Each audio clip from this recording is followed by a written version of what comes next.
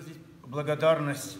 и Владыке, и Ксении, и отцу Андрею, и отцу Ильи за то, что сегодня они просветили нас вот этими тонкостями,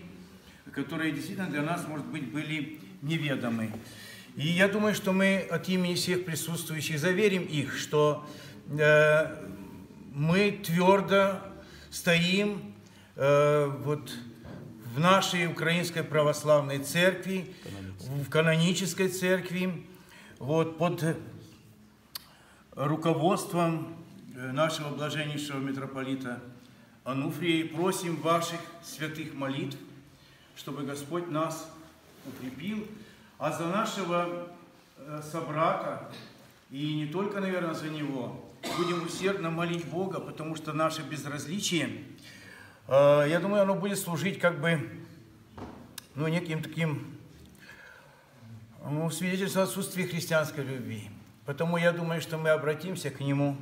с письмом или в другой форме, что мы действительно глубоко переживаем все, что случилось что мы молимся, что мы надеемся, может быть, по милости Божией, э, его сердечко, может быть, отмякнет, и, может быть, все будет по-другому. Спасибо, Господи, Боже. Нашему блаженнейшему многое лето, нашему блаженнейшему многое